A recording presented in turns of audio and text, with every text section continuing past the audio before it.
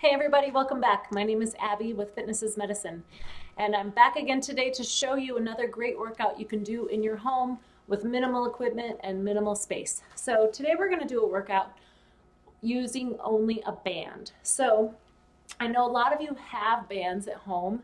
Many people get them um, if they have physical therapy or you know they've bought them at the store. They're cheap, they're easy to have around, and they don't take up much space. So we're going to use a band for this entire workout. Um, and I have a couple different bands set up to do, to show you a few different workouts or to show you a few different exercises, but um, you can do them all with one. So let's get started. Remember to start with a good warm up before you do these exercises. So if you need to, you can press pause and go get your warm up in a good five to 10 minutes to get your heart rate up, get your muscles warmed up and ready to move. Okay, so grab your band.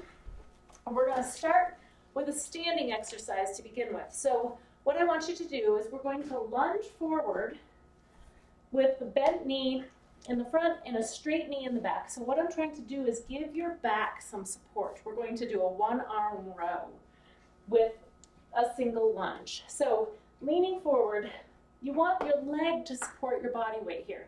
So I'm trying to avoid any back pain. If you do have back pain, you can do this leaning over um, like a a coffee table or a bench or something like that. You can support yourself also on your knee with your opposite hand. So we're just going to row this way. So you're driving your elbow towards the ceiling. Now I am leaning forward a little bit. I'm keeping my abs engaged to protect my back. You can adjust the resistance here by holding on a little tighter or by loosening it up if you need to. So I am just trying to think about my shoulder blades squeezing back, my elbow pushing towards the ceiling, and keeping my abs engaged to protect my back. Also, this is a good quad exercise, so that standing lunge is, that static lunge, is really working that quad, so you're really gonna feel that as well. Okay, now we're gonna switch sides. So I'm gonna step on it with my opposite foot. Lunge forward, get a good grip on that band. Sometimes if you wrap it around your hand, it can feel a little better. Or you can use ones that have handles. Excuse me, I'm losing my balance here. All right, so pull up. Remember you're leaning over this, your quad is engaged, your knee is right over your ankle. Keeping your core engaged here to protect your low back. Driving your elbow towards the ceiling and squeezing your back. Eight, nine, ten. Good. All right, that's the one arm row with lunge. Okay, next we're going to lower to the floor and do a chest press with a bridge. So what I want you to do is take that band and wrap it around your back about right here, maybe a little higher, so kind of right under your shoulders. We're going to lie down on the floor need to make sure. Okay, so in this chest press here, or in this position, I want you to get a good grip on the bands here. We're going to do a chest press. So pushing up towards the ceiling. So you kind of want it right under your armpits. Try that a couple times and see how it feels. You can adjust the grip, like I said, make it a little tighter to make it harder, loosen it up to make it more difficult. Also, you can double up bands to make them more difficult. To add a little bit more challenge to this, I'm going to have you go up into a bridge. So remember, when we go up into a bridge, flatten your back to the mat, to the floor, press up, squeezing your glutes, and then we're going to press straight up towards the ceiling with that chest press. So we're going to get more of a full body workout here with this exercise. So we're working your glutes and your hamstrings, a little bit of core, and your triceps and your chest here. So we're getting a lot of muscle groups here with this, this chest press in a bridge. All right, good.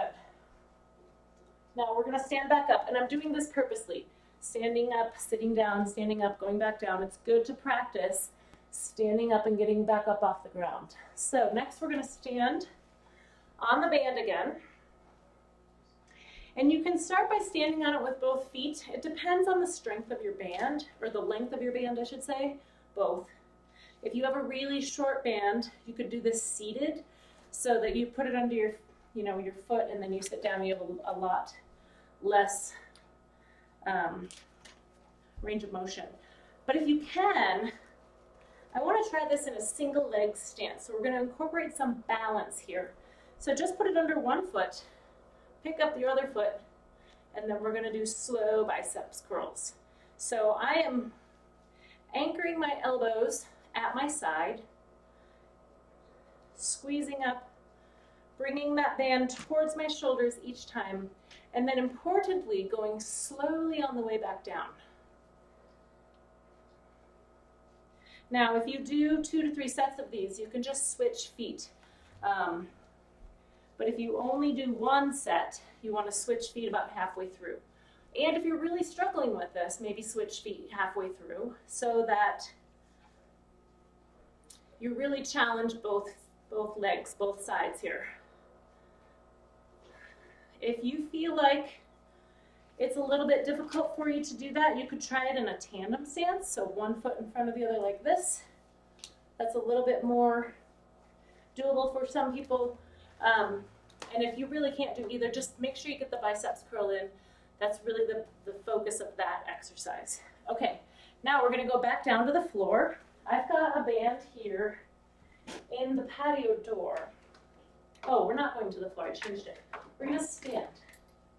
So I've got this, I've got my strap through the patio door so I can hang on to it. So if you have this type of band where you have a, um, a door hinge, so this has a, um, an anchor on it that I can slam in the door and then it's safe to put into a door and you can use it for any type of door. I'm using my patio door here. So we're going to do a banded lat pull. So in a little bit of a squat, knees over your ankles, your hips are sitting back, and then you're gonna pull. So pull those handles or the band straight towards your armpits.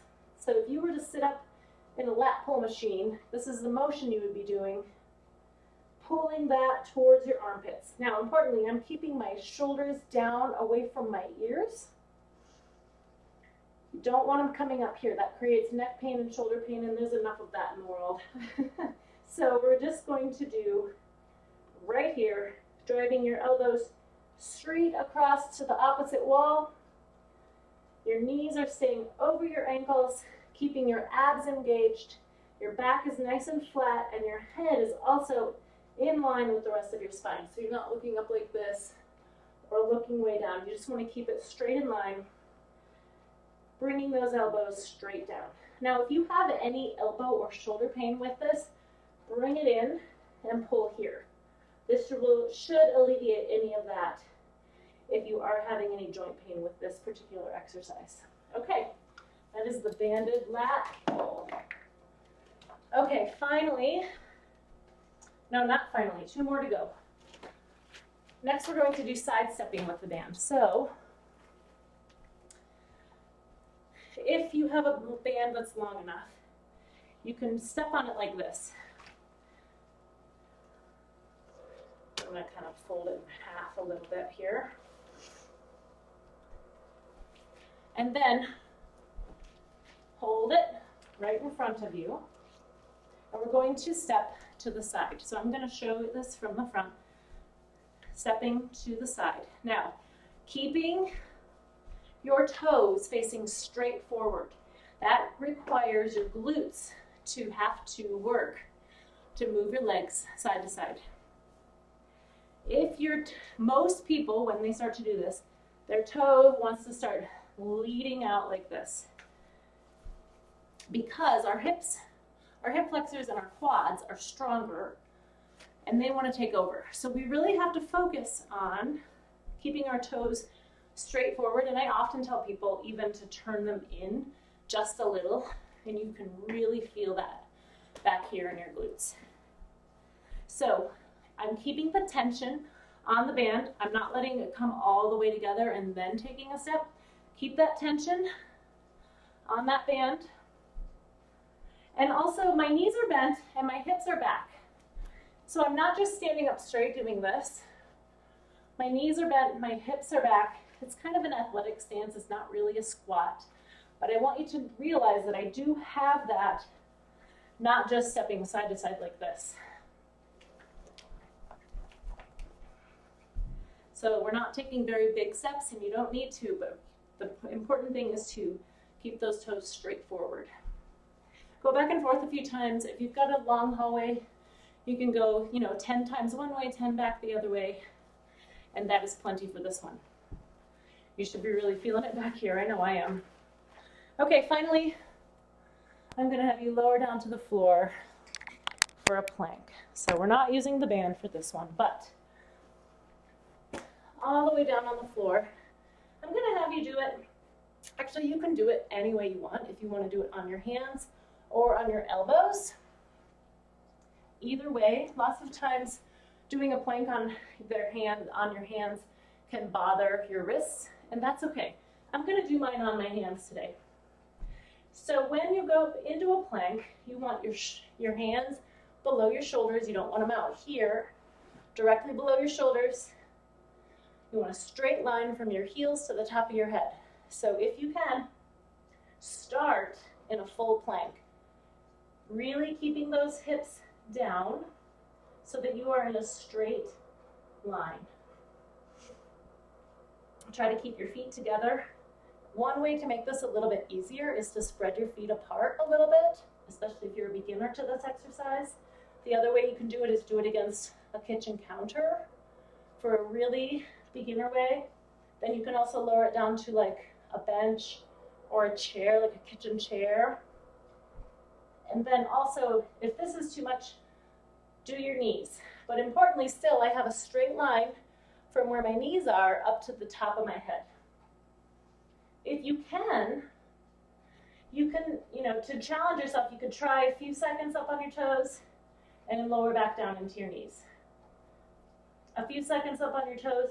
You can even try one, go back up, try the other, go back up. You can challenge yourself in little bits. You don't have to do all or nothing. You can try the little bits at a time to try to challenge yourself to do that next level, even just for a little bit. Okay, go ahead and do these through um, one or two more times at least, and then follow with a good stretch at the end. Let me know if you have any questions, and keep moving, everybody. I hope you're having a great week. See you soon.